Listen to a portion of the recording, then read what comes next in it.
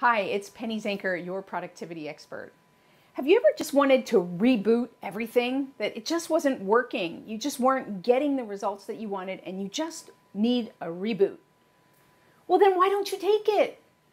It's so possible to reboot. Every day we can reevaluate things and reboot. We can decide we're going to show up differently.